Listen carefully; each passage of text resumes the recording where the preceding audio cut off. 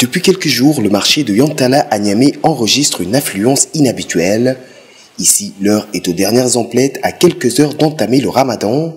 Et si les produits sont bien présents sur les étals, leur prix a une nouvelle fois été revu à la hausse pour la plupart. Les clients, eux, y sont déjà habitués malgré une certaine amertume. Bien qu'on ait des musulmans, mais n'empêche pas, au proche du mois du ramadan, les gens profitent pour augmenter le prix. Ça a été chaque année comme ça.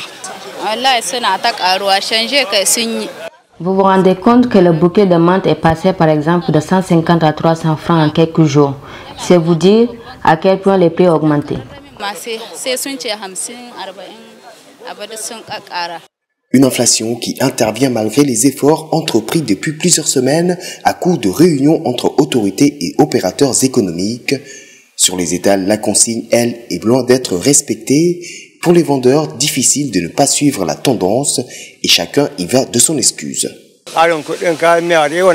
Il n'y a aucun contrôle sur le prix des condiments. C'est pourquoi certains ne se gênent pas pour augmenter du jour au lendemain. Et nous, nous sommes obligés de suivre.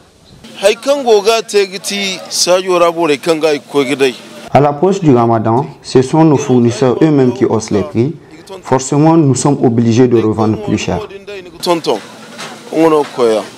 D'autres n'ont quant à eux pas eu besoin de hausser leurs tarifs.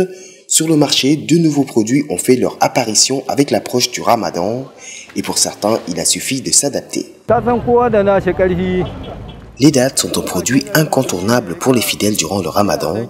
Je n'ai eu qu'à acheter un grand stock que j'ai ajouté aux produits que je vends déjà et ça marche plutôt bien. Comme à chaque édition, les autorités ont une nouvelle fois multiplié cette année le campagne de sensibilisation auprès des commerçants.